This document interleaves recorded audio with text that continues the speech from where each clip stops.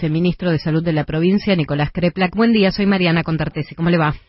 ¿Qué tal? Buen día, Mariana. ¿Cómo le va? Bien, gracias por atendernos. Veníamos este, hablando un poco del contexto del fútbol, que en, que en otros países de la región comenzaron los entrenamientos. ¿A su criterio estamos lejos todavía de ese proceso en, acá en Argentina? ¿O por lo menos en, en el ámbito que le compete? ¿De, que el fútbol vuelva? Sí. Mm, yo no sé, depende un poco de cuáles son los esfuerzos que el fútbol esté preparado para hacer. Porque nosotros lo que estamos ahora en este momento es en el momento de mayor cantidad de contagios y más riesgo de contagiarse una persona en nuestro país. Es el peor momento hasta ahora, podría ser peor más adelante. Así que en, en este contexto, que vuelva al fútbol, eh, podría ser, suponiendo yo que tendría que tener unos protocolos demasiado estrictos. Eh, pero bueno, a mí no, no me parece que sea el momento para una discusión de esa característica, me parece que sería algo descontextualizado del episodio de la pandemia en América Latina, que América Latina intente volver al fútbol en este momento. Mm, bueno, contundente. Podrían, podrían haber suspendido, sí, podrían haber suspendido hace unos meses, pero ahora es el peor momento para hacerlo. O sea, para la Argentina hoy este es el peor momento de... Y para. Brasil, y para Perú, para toda Latinoamérica. Ujú. Eh, ahora, en, e- en el contexto ya este, poniéndonos en la zona del AMBA, eh, Nicolás, hoy la ciudad está haciendo aperturas este, de, de actividades que ustedes ya este, comenzaron el lunes. El, el tema es, ¿a- ¿en qué contexto estamos para la semana próxima? ¿Seguir con aperturas o mantener lo que está? Bueno, eh, habría que analizar esas dos opciones o, o una opción de que se, se abran menos cosas.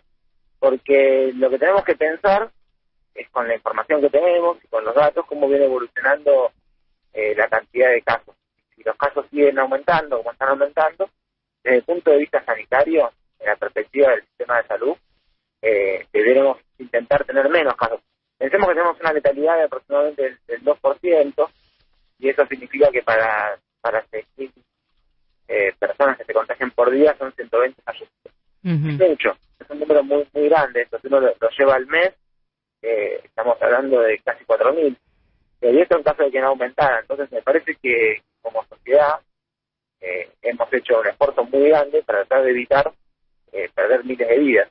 Y bueno, me parece que es una de las decisiones que, que tenemos que tomar desde el punto de vista de la salud, uno debiera intentar reducir la cantidad de casos, no sostenerlas como estaban, no ampliarlas, y está bastante demostrado en Argentina y en todo el mundo que cuando aumenta la circulación y las actividades, aumentan los contagios.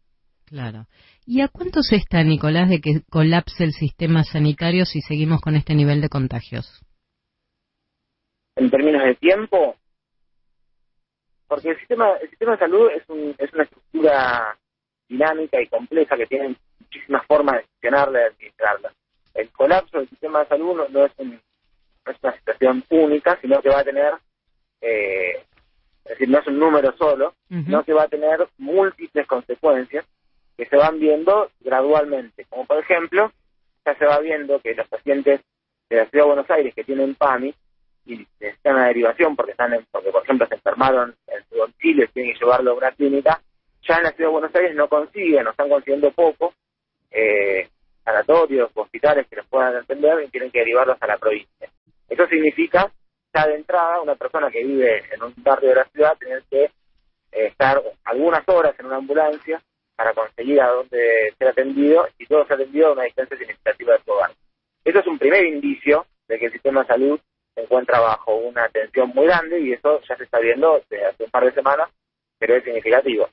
Ahora, si seguimos en este sendero, eh, en las próximas dos o tres semanas se va a poner mucho más complejo y va a ser más difícil conseguir la atención necesaria. Eso se puede ver eh, si, uno, si uno hace una cuenta muy, muy simple, pero es una, es una simplificación, pero me parece interesante entender un poco más el sistema Sí. de salud. Cuando uno ve la cantidad de ingresos de la asistencia por día, la cantidad de egresos de la asistencia por día, ve que el saldo es siempre positivo. Entonces, si en los últimos eh, 15 días en la provincia sumamos 100, 140 personas en las camas de terapia intensiva por coronavirus, eh, bueno, un problema de esto en el tiempo, y lo que vemos es que en 3, 4 cinco semanas la cantidad de camas de intensiva, si fueran el mismo número que tenemos ahora, eh, se, deberían ocupar en su totalidad, pero es que no son todos los hay muchísimas otras implicaciones. Ahora, cuando uno habla que para el 14 de agosto, 15 de agosto, que comenzaba el ministro Goyan, según las proyecciones matemáticas que tenemos hechas nosotros, el sistema de terapia intensiva supone el 91% de saturación, eso significaría ya eh, una gran dificultad para conseguir una cama y, un gran peregrinaje de mm. un lugar a otro que puede ser que algunas personas no lo consigan, 90% de lo que ya sucede en la ciudad. Hay gente que no consigue la cama en este momento, aunque está el 100% de ocupación, porque no lo encuentra eh, de la cama de manera adecuada. Esto es un problema que ya estamos viviendo y yo, eh, por eso, soy de los que piensa que deberíamos reducir la cantidad de casos y no esperar más.